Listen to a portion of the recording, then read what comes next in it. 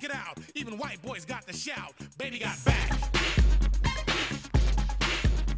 Yes, go off with this donkey and talk about your women's crap. Good luck getting up those stairs, Crip Isle. Jinx, you owe me cocaine. It's just a whole deal.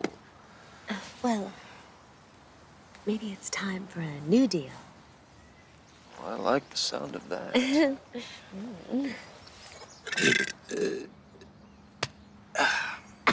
I'm hungry. I get some dick fist. Sure. Dick fist? Yes, it's between dinner and breakfast. Really hoping it takes off. I'd like that to be the thing everyone remembers me for. Mr. Parenti and Mr. Wellerson are finally getting along. Well, what do you think I'm gonna do? I, I just don't want a scene. Honey, why would I make a scene? Though I was thinking on the ride down here, would Amy Bennett really be dating an actor? Absolutely. Just hear me out. Or would she be with Pierce Barnum, gallery owner and art aficionado?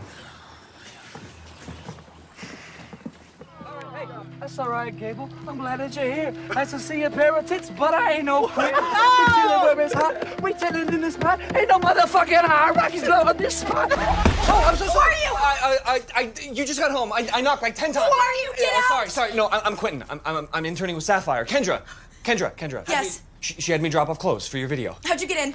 Here, they gave me a key. They, they weren't sure if you'd be here. Why? Why didn't anyone call? I don't know. I don't know. They totally should have, and I don't know why it's night. And I'm sorry. I don't know why any of this. They just make me do things. I'm sorry. Hey, Eleanor. Let's get out of here. What did you just call me? Eleanor. Never used my real name before. You've never caused me arousal before. Where do we find her?